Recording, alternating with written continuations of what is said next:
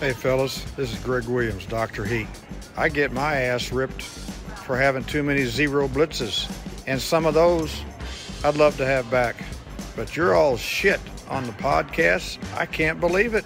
It pales what I do on a zero blitz in comparison to some of the bad life choices that Andrew, Ralph, Dave, and Kevin make. Are you kidding me? We can't make better choices on what we say and do and how we live our life, and now it's on podcasts?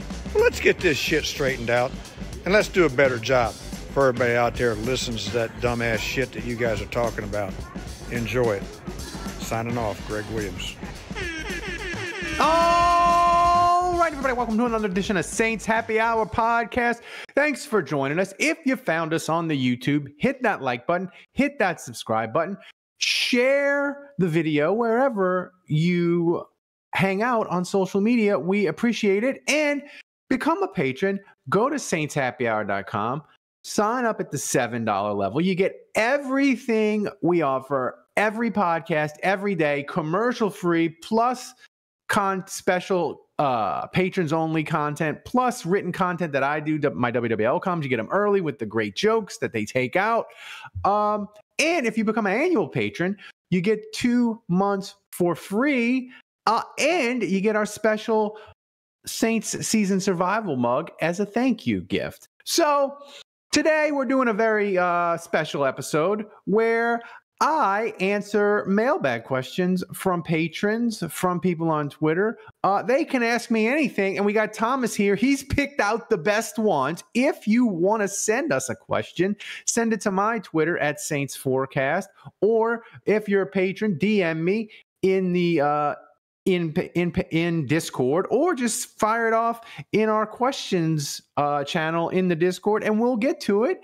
And you can ask me anything; I'll answer. So, Thomas, what are the questions that the patrons have sent you in Discord uh, to ask me? Yeah, I have four questions prepared for you, Rolf. Uh, and the first one is from Budrich, the usual suspect. He asks.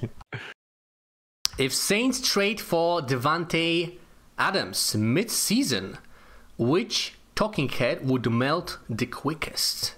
Okay, so this is like I know, but Budrich wants like a one-person answer, and I think I've got it. But Budrich, I think we need to take a broader view on this. If the Saints trade for Davante Adams mid-season or like at the deadline, like it isn't just one talking head. The Saints basically own trade deadline day. It becomes, oh my God, the Saints traded for De- Davante Adams, which means, by the way, the Saints, if they did that in this hypothetical situation, they're going to be good. Like they're going to be five and a, five and one, six and one, or whatever it is at the deadline, right? So they're going to be a really good team, and everybody's going to explode. But I'm going to give you two two names that would absolutely lose their minds. Nick Wright would lose his mind one, because he'd be confused as to how the Saints can do this and absorb Davante Adams' 25, 30 million dollar cap hit the when Ponzi they only scheme. have the Ponzi scheme when they only have like 10 million dollars of space. He'd be confused as to how they can do that. The other person that would be absolutely positively um, beside themselves would probably be either Ben Solak from The Ringer because he just hates how the Saints operate, but he's not really he's not really a big a big name. So I'm going to give you a bigger name. Uh, I think Bill Barnwell uh, would absolutely positively lose his mind because he would most likely say the Saints are not a true Super Bowl contender. What are they doing? They're doing the same old Saints thing they're not a they're not a true contender. Their point differential or their advanced metrics say they're not a real Super Bowl contender in the NFC, even though they're poised to be the number one seed. And they're mortgaging their future, and they gave up two second round picks, future ones that they don't have, and blah blah blah blah blah. So I'm gonna give you. I think Barnwell and Nick Wright would absolutely positively lose their mind. And of course, the best part of it would be the nerds in general spinning it how the Raiders have fleeced Mickey Loomis and have set themselves up for a bright, beautiful future, which of course will never fucking arrive because the Raiders are incompetent at everything they do. So, I, Butters, that's a great question. I, the Saints trading for Davante Adams, it would just be amazing because it would be this. You know me, Thomas. I love the transaction. Yep. I love when the Saints are the center of the football. You love world. the chaos, man. I love the chaos, and I just like to be able to turn on ESPN or Fox Sports and like their debate shows or NFL Live or whatever, and they're talking about the Saints. Like that's what I'm about. I I love the Saints. So like more Saints content that I can consume the podcast on the daily basis. Like I'm for it. So the Saints trading for Davante Adams, like I am, I'm here for it because the main thing is it just guarantees that they're good in 2023. What so do, what do you think will be the price, Ralph? Mid-season. Ooh, I think. Let's uh, let's assume Saints are good and Raiders suck. I think the price. I mean, the uh, players as they get traded, their value decreases. It's like a car, right? You buy a used car, you drive it off the lot, it decreases in 20% in value, and then you sell you sell it again and it decreases another 20%. I think probably if they traded for Davante Adams and he was doing really well for the Raiders, it would probably be the Denver second round pick in 2024 and something else. Like it would be, it would probably be a second round pick in 2024 and either a third round pick in 2025 or a second round pick in 2025. It's not going to be, it's not going to be a first because the va- value of any player, man, it decreases over time. That's just, that's just how it goes. All right. Next question. Next question comes from uh, Jason Champagne and he asks If Kamara ends up doing time, which he probably will. Will airheads oh, replace cigarettes as the prison currency? Kamara going to jail would make me so sad because he is just he's an all-time great saint. He's going to be in the Ring of Honor, I think, and just like it would be it would be the end of him. It would be the end of his career. Like if he goes to jail for for any length of time, whether it's a year, six, whatever, two years, it, it's over for him. His career's done. So that would make me really sad. I have to say, I do think uh, airheads as currency in prison for Kamara would be pretty funny. The, on a serious note, Thomas, I am kind of concerned about Kamara because me and Dave did a podcast about Kamara's future, and Dave, who is bougie and has lawyer friends, and he comes from a family of lawyers, he was saying that the people he talked to, they're concerned because they haven't offered Kamara a deal, the prosecutor, right? He and so they want to take this to trial, and that's a bad sign for Kamara. I was thinking always that Kamara would get this taken care of, plead it out, pay somebody, make it go away, and he hasn't made it go away. And the longer it goes, and the closer we get to an actual trial, it makes me think that like prison time for him is a serious possibility, which I never even contemplated. I always thought that the danger with Kamara was the suspension. As a Saints fan, we always hate, right? But now that it gets closer to trial, I'm worried. And like, I just like Kamara going to prison. It would just make me, it just make me incredibly sad. Not that he doesn't deserve it. If he gets convicted, of course he would. But it just overall, it makes me very sad because he's he's an all time great Saint player, and that's just that's the worst. that's as bad an ending as any Hall uh, Saints great would ever have had. So uh, Jason Champagne, your your question made me sad, and I now that I'm thinking about it, I don't really like it. Thomas, what's next? Maybe he wanted to pay the prosecutor with airheads. That's why he didn't take the deal, man. That's okay, right. next question uh, from Saints Rabbit, a, a long one. Which of the following would you all consider the biggest financial waste compared to production? Jairus Byrd, Ooh. Cameron Meredith. Holy shit, Ooh. I forgot about it already. I forgot about that Brandon one. Brown is speaking of prison. Yeah, that's uh, bad. Jason David. Ooh, or the Beltmaster Junior Galette after Ooh. contract extension. Or Ralph's Electronic Graveyard. a dark horse in this race. I mean, the electronic graveyard of microphones is it's Strong extensive. contender, man. It's it, it's it's it's it's it's extensive. I went through it because we've had so much trouble with the wire. I don't don't worry, Thomas. I won't touch the wire. Um, but we had so much trouble, and people that are patrons know they get the behind the scenes podcast. The last behind the scenes podcast, Thomas is like at his wits end. He's cursing at me in Polish. He's he's just he's at his wits end over the wire wire for the microphone. So I went. I was like, maybe in the graveyard of microphones maybe now that we have a professional producer like Thomas, I was incapable of getting the microphones to work. And maybe I could find like one that, that works. Thomas, man, I had another Yeti that I dropped that's broken. I had a I have a I have a snowball that sounds like a like a ham radio. Wait, you There's, have a snowball? I had it. I dropped it and it's cracked. That's news to me.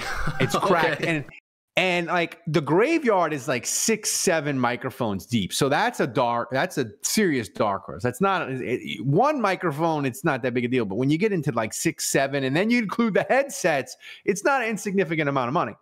Um this one's tough because uh brandon browner terrible. Um jason david also terrible because they gave up a they gave up a fourth round pick for Jason David. Uh, CJ Spiller could be on this list, by the way, I think, uh, if people are so inclined. Um, Cameron Meredith is interesting because they guaranteed like two years. I think it was $10 million for him and his knee just for the Bears never healed. He did catch that touchdown against Atlanta, though. Um, this one's this one's really tough. I think for me, the one that is the two that you have to put at the top is Jairus Byrd and Galette. Byrd because the Saints signed him kind of knowing that like he had injury issues in Buffalo because when the Saints signed him, Buffalo were like, "We love him, we're sad to see him go, but good luck, Saints fans. He's kind of always injured," and that that was a red flag. Junior, I'm probably going to put Jairus Byrd um, ahead of Junior just for this because the thing is, Junior Galette ended up being a hand grenade, grenade on their cap. It ended up just detonating their cap, and he had the belt issues on the beach and the the women and all that, and it went bad. But at the time when the Saints signed him to that contract, it was like two years early, and everybody's like, "Man, he's a crazy person. Why are you signing him early?" The thing was that contract. If Junior Galette had just not gotten in trouble and been turned into a complete lunatic, and he would have just com- kept churning out a couple of more 10 sack seasons, that contract would have been a bargain. Like they were going to only pay him 10, 11 million dollars. And for a 10 sack guy, that is a bargain. So the Saints were kind of like, hey, Junior, we'll give you this money. We'll give it to you really early. You get the money early. We get you on a discounted contract if you keep up this production. Um, so maybe they should have known that he was going to go insane when they gave him the pile of money, but I feel like that was that was maybe a little bit unknowable. Jairus Byrd, man, they knew his injury history and they made him the highest paid safety in the history of the NFL. You can argue that Jairus Byrd is sort of a one-off move where, yeah, the Saints have done their cap shenanigans, Thomas, and we know Mickey Loomis, Loomis math, and they do it, and they Ponzi always make scheme. it work. Ponzi scheme. They make the nerds mad. They make people don't don't understand the salary cap mad, and it infuriates them. But that aside, the Saints really have never gone into the free agent market and spent at the top end. Like Jairus Byrd is the one guy that they were like, we're going to get him and we're going to make him the highest paid safety in history. Um, even Drew Brees, when they got him, they didn't make him like a top paid quarterback. They guaranteed him a bunch of money and he had the hurt shoulder and he took it.